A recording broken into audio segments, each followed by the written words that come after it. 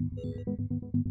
Woo, we got a spicy one out there for all of you guys today. Welcome back to the show. As per usual, better have some water, maybe some coffee. Got some NFT drama for some Twitch streamers out there, which is probably going to be an ongoing talk as we've seen several Twitch streamers out there either A, take some NFT partnerships and sponsorships, or B, reject them altogether. If you guys have checked LSF, you probably know exactly what I'm talking about. This being around one of your biggest all-time Twitch streamers to go down in the, in the history books as probably one of the most profound. That's going to be Lirik. Yes, he announced, and it was actually via Dot Esports that I found out about this one, that he was going to be minting 10,000 personal NFTs for his audience and viewers at a price of $50 per NFT. Of course, that being a half a million dollar drop in total if I did my math correctly. Obviously, no short chunk of change there, and people were curious as to what his motivations were. Apparently, he was someone who maybe spoke against NFTs in the past and now is maybe for them, having them for his audience, and what he compared to having a merch drop, right? You buy your favorite piece of clothing from your favorite creator, you might spend 20, 30, 50. Some people out there, you look at Raise Drop, people were spending hundreds of dollars to support all of their creators out there. So he found that middle ground of comparing this NFT to maybe if your favorite streamer dropped the hoodie or a t-shirt. Now, this was met with lots of backlash for uh, lots of different reasons. NFTs are very, very much controversial, I would say, right now, especially when you drop them on the good old LSF, to which uh, apparently Lirik has now decided that he's not going to be doing the project any longer. But there's going to be 10,000 of them.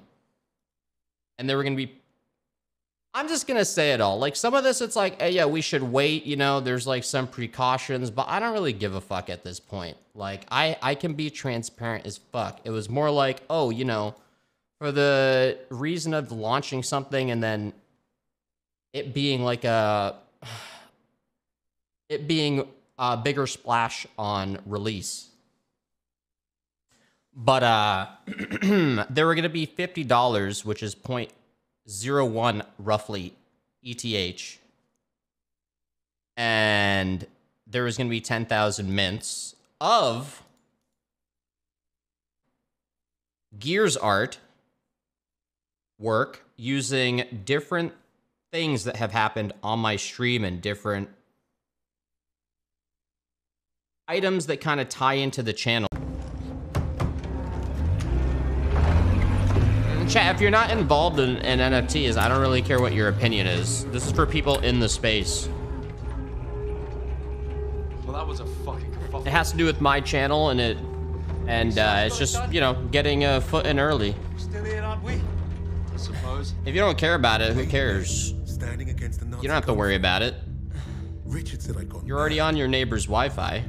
As he had a few responses here and there, but nothing too major, but he finally did tweet saying, yeah, so NFTs. If any of you guys want these to right click and save as or whatever, lol, go for it. I personally really like the second one and the 16th that Gears Art made and the 5th. I went into this with pure intentions for the future, but I'd rather privately collect than sell. And this actually sparking other drama because there's been a recent website popping up that actually makes clips, uh, favorite Twitch streamer clips into NFTs. NFTs, someone like Destiny has actually taken a partnership like this. I believe other Twitch streamers have as well. Some like Mizkif actually rejected several hundreds of thousands of dollars to be partnered up with these NFT like projects which got a lot of responses. I'm going to play for you guys a variety of them. Mizkif, of course, denying it. We have a, a, a RuneScape streamer I used to watch uh, a, a, few times here and there. Uh, is it Alisha or Alicia giving her response to Mizkif turning it down? And then XQC responding to all of that. I don't have a really a big take on this for the time being, but just to show you all three of their responses,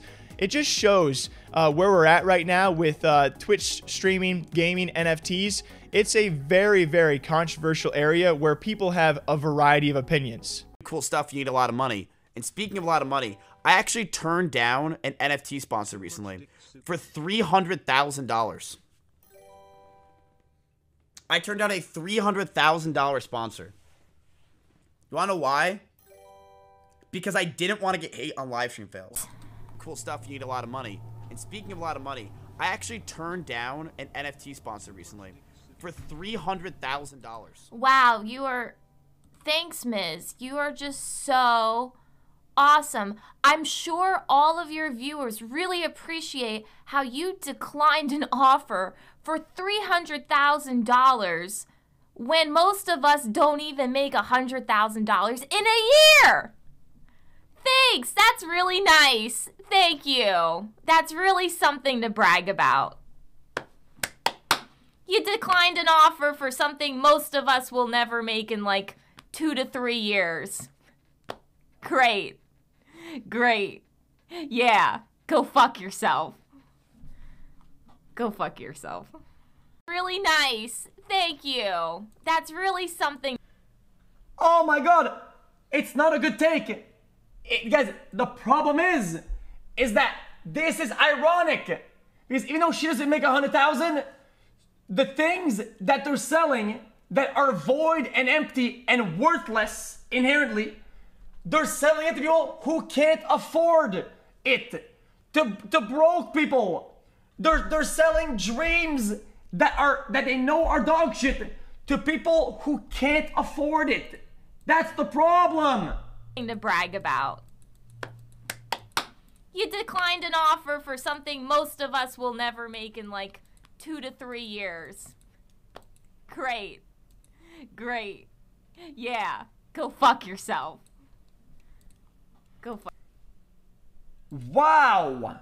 My brain stopped functioning after I've watching this clipping. Did you know that? And 10% of the revenue goes to the streamer, okay? Now, there are some legendary Twitch clips out there, okay? Legendary Twitch clips out there of mine that I bet you want me to autograph. And you know what? If you buy it, I can go right up here and click autograph and I can sign whatever NFT you want me to sign, okay? Oh my god. It could be the Dan Litterbox clip. It could be a clip about one of my two Kyle friends. What the fuck? Um, What happened? Guys, what something about happened?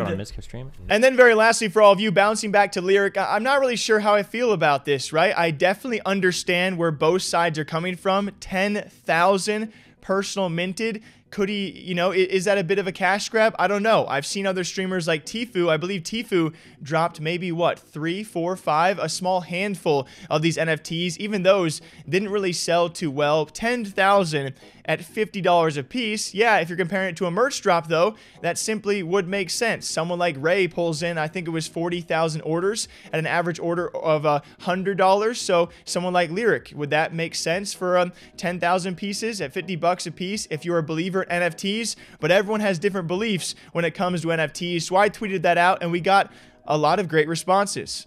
Like Ryan, the head of YouTube Gaming, says NFTs, in their current well known form of being digital art, is not for everyone. The underlying technology over time will have more interest to gamers, but it's not broadly appealing in its current state. Someone like Elijah saying if he was transparent about it and set no false expectations, then any and all backlash was because of people's negative preconceived notions of the word NFTs. The only genuine concern I could understand is environmental, but even then, it's 90% virtue signaling. Someone like Issa said it all depends on what he has planned as utility for the NFTs, in my opinion. Then uh, PvPX, he uh, he dropped people upset over this, but there's creators selling bathtub water. Uh, so that's factual. Then we have Classify saying, so as a content creator, uh, he made something unique and cool for his community, told the people in advance how much it was and what it represents, and still got backlash for it, even though he was transparent about the whole personal project. This crap's wild to me. Monster goes, nah, it's a cool idea, and influencers should treat it like merch, in my opinion. And then Alexandra Botez says, too early, in my opinion. The Twitch audience is very skeptical of NFTs and has bucketed them into scam slash right click save territory. Reaction is worse when a streamer is sponsored or making money off NFTs, but I've seen it go uh, well when all of the money is raised and goes to charity. So a whole host of different responses out there. I just find it, you know, it's it's so weird because there's so many angles to approach and debate this topic. Me personally, I didn't mind it. I can also understand though whether it's environmental or maybe of course the fact that some people think it's a cash grab. He had previously, you know, been against NFTs, maybe um, you know said some things about them and now taking them back when he can actually make money. I, I don't think there's any ill intent from someone like Lirik who very clearly does not need the money but wanted to actually offer something to his audience and viewers that he thought was personal and uh, going to be made just for them. It was it was a cool idea in itself. I do enjoy the transparency. I think I'm just going to ride the middle line here, and I think it's unfortunate that because of backlash, we see people stepping away from things that they maybe really, really felt strongly for. But hey, maybe a year from now, maybe months from now, he takes that back and says, hey, now is the right time to do so. Lirik stepping away from a half million dollar NFT project because of Twitch backlash. What do you guys think about it? And hey, Uh, you know, just uh, take it easy. You can give both sides, variety of opinions out there, and every opinion is entitled to it. You guys can just leave a comment down below. Till next time, do me a favor, all right? Coffee, water. I'll catch you back here sometime soon. Take care.